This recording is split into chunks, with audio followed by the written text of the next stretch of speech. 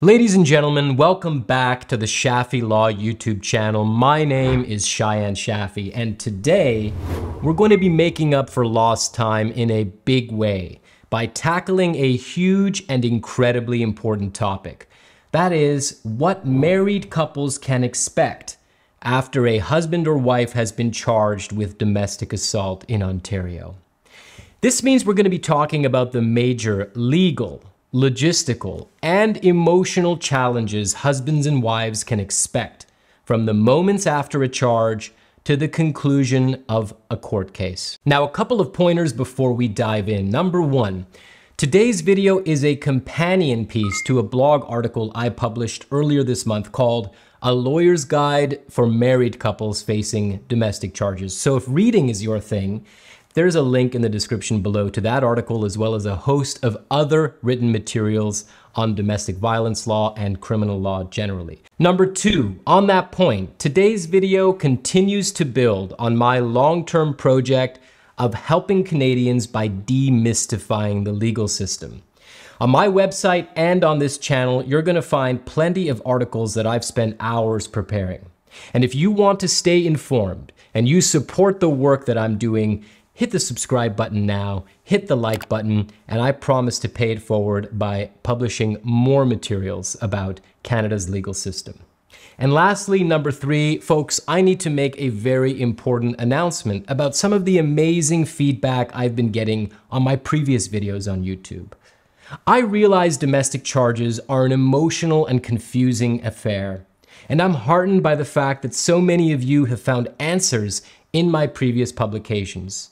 But when those answers spawn new questions, the best way to get advice is by picking up the phone and talking to a lawyer. As much as I want to help, for a whole host of reasons, I cannot and do not give legal advice on the internet. This channel is not a place for legal advice. It's a place for you to get information on how the justice system works, how you use that information, whether it's to satisfy your curiosity or to better understand and talk about your legal problem is up to you. With all that out of the way, let's now turn to our main topic, starting with a discussion of what everyone charged with domestic assault in Ontario should know. Now, about a year ago, I published a video on what to do if you've been charged with domestic assault. The takeaways from that video apply equally to husbands and wives in the domestic context. Regardless of whether your spouse wanted you charged when they first contacted the police or now want the charges dropped, all Ontarians facing domestic assault charges should know the following three basic facts. Number one, the vast majority of domestic cases take at least several months to resolve in court with most minor cases taking somewhere in the range of three to six months. So make the necessary housing and child access arrangements now. And don't expect your domestic charges to be disposed of at the first court appearance. I'm here to tell you that this almost never happens. Number two, whatever you do, follow your bail. Even if your husband or wife desperately wants you back home. A failure to comply with your release can and will result in your arrest if it's detected by police. A desire to communicate is not a defense, and the police simply will not care if your spouse was the one who initiated the contact. And number three, the best thing you can do for yourself in the early stages after a charge is to hire an experienced domestic assault lawyer. As I've talked about elsewhere, domestic charges are unique in the criminal justice system. From investigation to the termination of a domestic violence case, these types of cases attract special procedures, policies, and as a result, defense tactics. As you await your first court appearance, do yourself a favor. Hire a lawyer who knows what they're doing. A lawyer will not only bring you mental relief, but also show you how to make the best use of the time between the point of your arrest and your first court appearance. For those of you desperate to get back home to your spouses and your children, This means a drastically improved chance of getting a better outcome faster. Now, with those three general principles in mind, let's zoom in on the special difficulties married couples encounter when they face domestic assault charges in Ontario, starting with the ever popular no contact order. Although confronting a domestic charge is never easy, married couples face an especially hard road. That's because, more than in dating or even common law relationships, marriage signifies that the life of the spouse is intertwined at every level, from the bills to in laws to childcare. Because of this, the first instinct of most married couples after one spouse has been arrested is to reach out to their partner. This is obviously completely understandable because the charge often leaves both parties feeling confused, shocked, and alone. Unfortunately, once domestic charges have been laid, a no contact order will stand in the way of communication. In my experience, this order is the single most significant source of pain and frustration for married couples facing domestic charges in Ontario. Let's first talk about what a domestic no contact order is. A no contact order prohibits a spouse charged with domestic assault from communicating with their partner. They're typically imposed by the police on what we call an undertaking, but they can also be contained on a court ordered release order. Now, most no contact orders are paired with something we call a radius condition. And this prevents the charged spouse from going back to the matrimonial home or near the complainant. The radius condition can contain exceptions for the retrieval of property, which we'll talk about a little bit later. Although no contact orders are typically limited to the complainant, they can and sometimes do extend to other family members, including children, if those people were present and are considered witnesses by the police or the courts.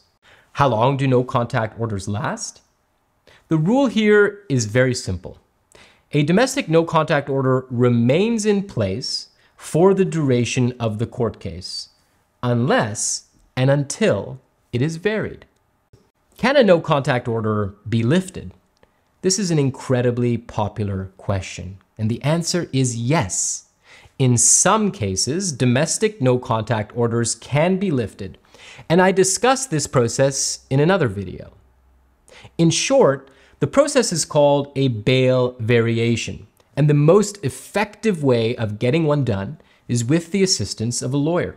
Let's now shift gears and talk about one of the most significant emotional obstacles clients facing domestic charges will face. And that's what I call relationship strain. Relationship strain is the pain and uncertainty clients feel about the state of their marriage after a domestic charge. For many couples, a domestic charge marks a clear breaking point with separation and divorce looming on the horizon. For most, though, the marriage landscape after a charge is a lot more ambiguous. In my experience, having represented hundreds of individuals in domestic cases, most domestic charges are the result of relationship dynamics that have been present in a marriage for years, sometimes even decades. For these kinds of couples who have learned to live with these dynamics, the involvement of police doesn't necessarily signal the end, but a fork in the road. And here again, we turn to the no contact order.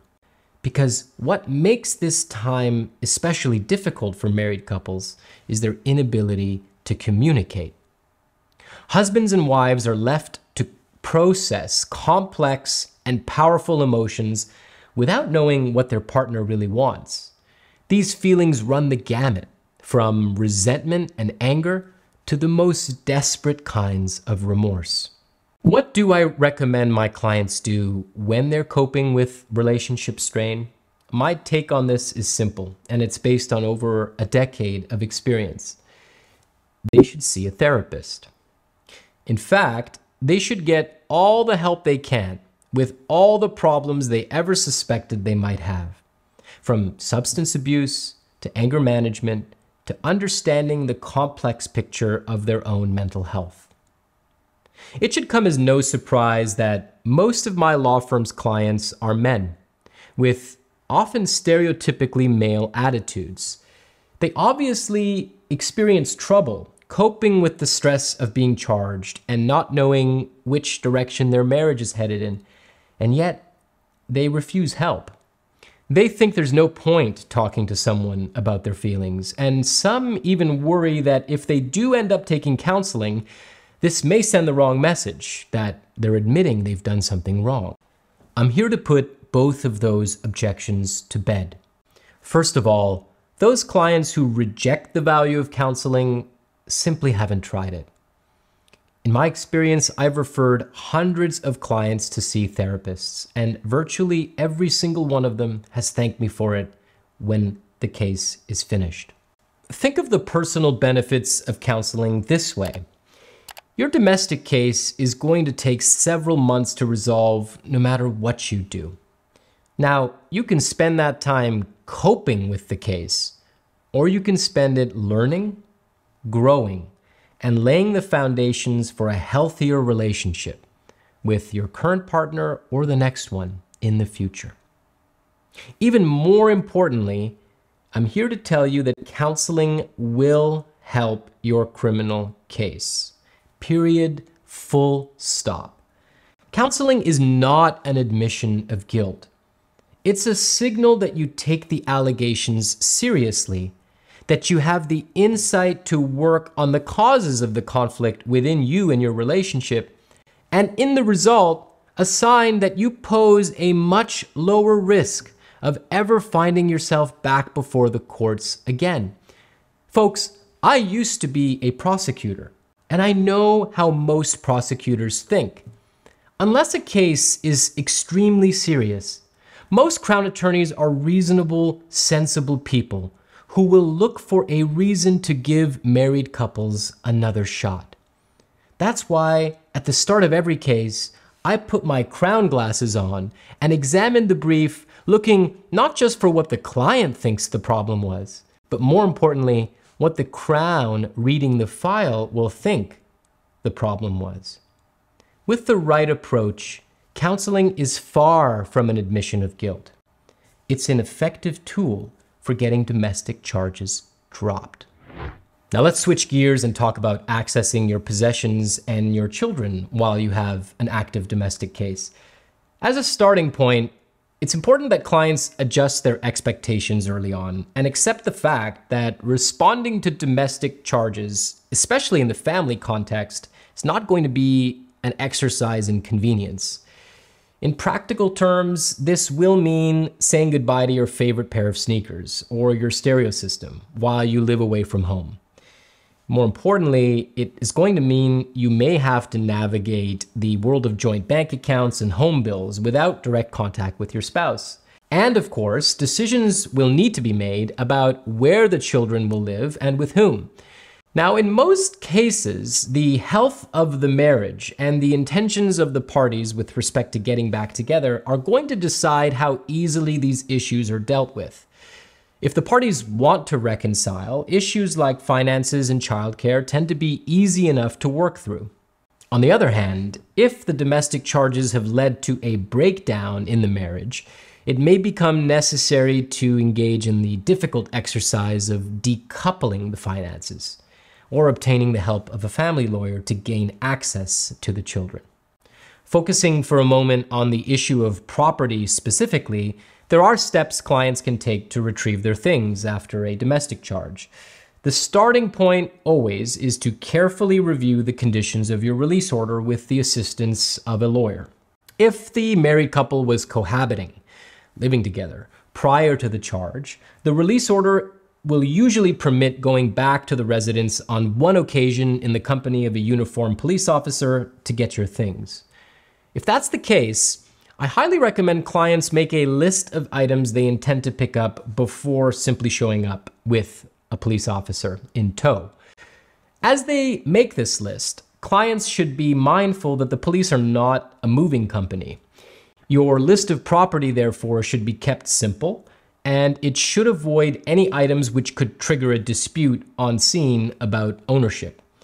If further property retrieval becomes necessary, the easiest solution is often to enlist the help of a third party.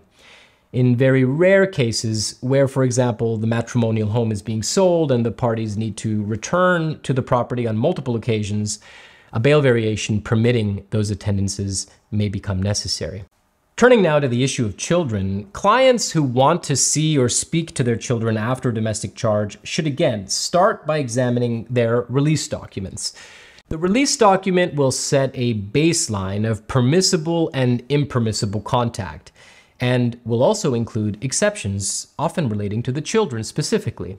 In my experience, after an arrest, any children in the family will usually remain with the uncharged spouse at the matrimonial home. The husband or wife facing the charges is then permitted to communicate with the children either with the assistance of a third party or pursuant to a family court order. Now, generally speaking, family court orders are only necessary where the parties cannot see eye to eye with respect to accessing the children. In the majority of cases, the uncharged spouse typically remains supportive of co-parenting. Access is then facilitated through the use of what we call a mutually agreeable third party, meaning that the complainant retains a right to choose who can act as an intermediary. Folks, this has been a mouthful and an earful, and I hope sincerely that it has been helpful to Ontarian couples facing the long and difficult road of domestic assault charges in the province. I've been practicing in this field for over a decade, and I continue to find the process of representing clients in domestic cases an endless source of challenge and growth. As the years go by, and especially as it relates to married couples, I increasingly view myself not as a domestic assault lawyer, but as a lawyer focused on family reunification. I've learned that the most effective defense in cases involving married couples isn't to pound the table, but to cut with the grain of my clients' stories and the stories of a marriage. I am very proud of my track record of success in this space, and I hope that some of that comes through on this video. Domestic assault charges can feel like earth shattering events, but it's also possible to view them as tremendous opportunities for growth. If there's one thing I want my married clients to take away from this video, it's this. The time you have away from your partner isn't just an opportunity to beat the charges. It's a chance to reflect, to heal, to course correct. With the right legal advice, not only is there a good chance you'll get the charges dealt with, even dropped, but for those of you who want it, a more loving marriage might be waiting for you on the other side. As always, feel free to call or email my law firm if you or your loved one is facing domestic charges anywhere in the province. And don't forget, folks, to hit the like button and the subscribe button. I hope you found this material helpful, and I'll see you in the next one.